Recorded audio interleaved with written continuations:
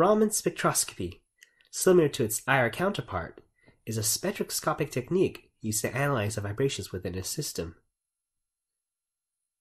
It's also better than IR, since you can use it for quantitative analysis. Ah yes.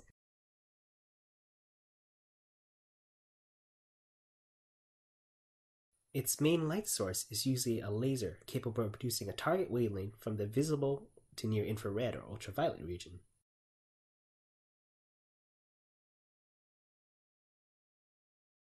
The underlying principle behind Raman spectroscopy, Raman scattering, was first conceived by Adolf Smekal in 1923. There's no relation to the other guy, despite appearances. However, it was until five years later, in 1928, that the Raman effect was observed experimentally for the first time by physicist Sir C.V. Raman, who was later named after, and K.S. Krishnan, using sunlight as main light source.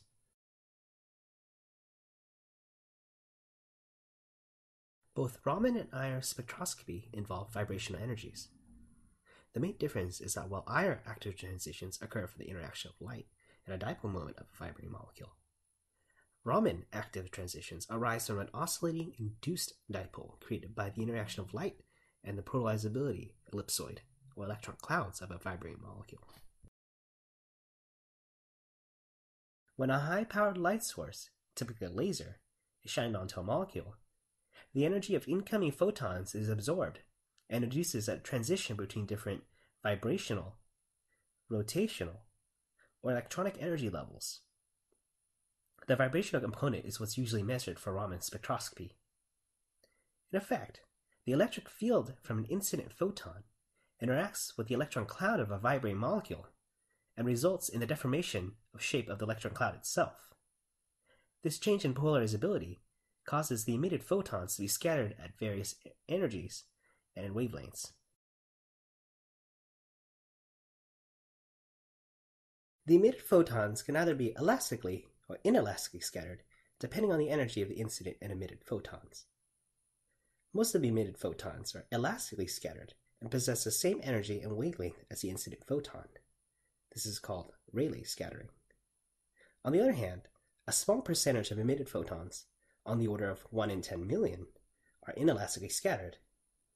These photons either have lower or higher energy than the incident photon and are known as Stokes-Raman and anti-Stokes-Raman scattering, respectively.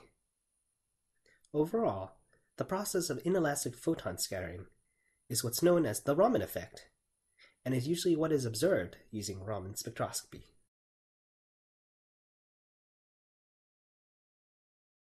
Since Raman spectroscopy is used to analyze changes in vibrational energy, it uses principles from the harmonic oscillator and anharmonic oscillator models of quantum mechanics, which describe molecular vibrations. Thus, for vibrational Raman spectroscopy, the principal quantum number labeled as V has a selection rule where delta V is plus or minus 1 for the harmonic oscillator, and delta V is plus or minus 1, plus or minus 2, plus or minus 3, etc. for the anharmonic oscillator, which gets quite complicated.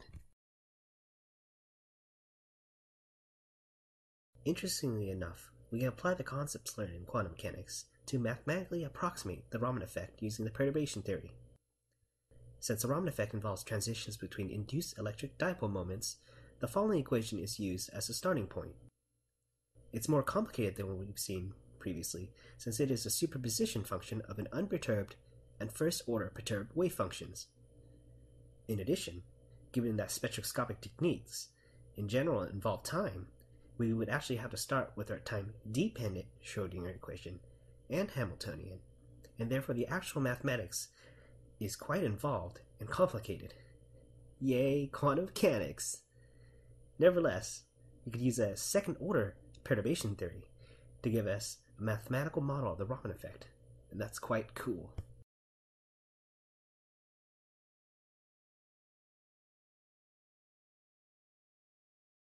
Unlike IR, which is arguably useless for quantitative analysis, and from experience provides meager qualitative information for chemical compounds, Raman spectroscopy has a myriad of useful and practical applications since it offers for non-destructive microscopic means for chemical analysis and imaging.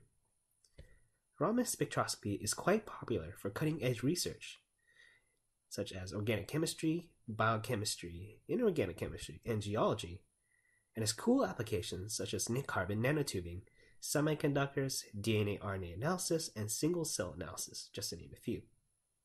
In addition, Raman spectroscopy is becoming more widely adopted by commercial industries, such as in the pharmaceutical, cosmetics, and food and beverage industries.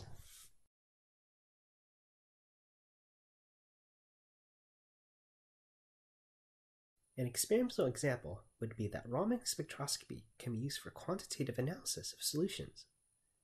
The relative peak area for each signal in the Raman spectrum can correlate to analyte concentration.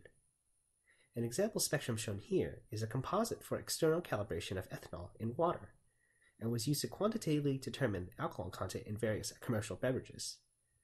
Unsurprisingly, the end experimental results were within a reasonable range of manufacturer labeling. In fact, the beverage industry in particular has adopted Raman spectroscopy since it's one of the few spectroscopic methods that are non-destructive and relatively quick and easy to use.